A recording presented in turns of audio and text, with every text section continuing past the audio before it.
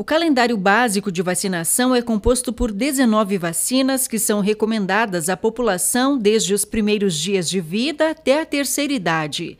Em Pato Branco, a Secretaria de Saúde, por meio do setor de imunização, tem realizado algumas ações para que a população atualize a carteirinha e mantenha essas vacinas em dia.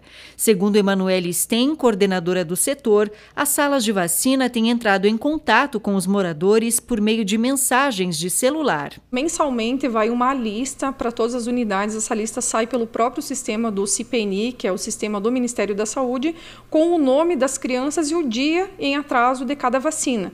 Então, a sala central, assim como as unidades dos bairros, entram em contato com os pais, avisando sobre o atraso vacinal e a importância de atualizar né, o esquema da criança, adolescente e até mesmo de adultos.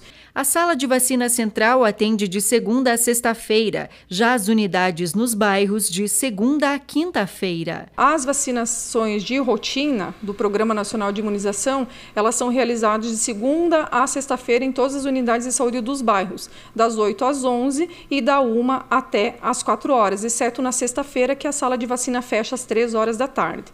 A sala central já tem um horário diferenciado, abre 7 e meia e segue até às 5 e meia da tarde diariamente sem intervalo para o almoço. O setor de imunização da Secretaria Municipal de Saúde de Pato Branco tem desenvolvido algumas estratégias para auxiliar os moradores para não deixar a vacina para depois ou então para colocar em dia aquela vacina que está em atraso. Uma dessas estratégias é o funcionamento da sala de vacina central na primeira quarta-feira de cada mês em horário estendido população que trabalha tem dificuldade de levar os filhos em horário comercial, na primeira quarta-feira de cada mês, a sala central ela fica aberta até às 8 da noite. Podem ir pessoas da região central, como também dos bairros. Então, quem tiver com vacina atrasada é um meio de acesso a esses pais que trabalham em turno comercial.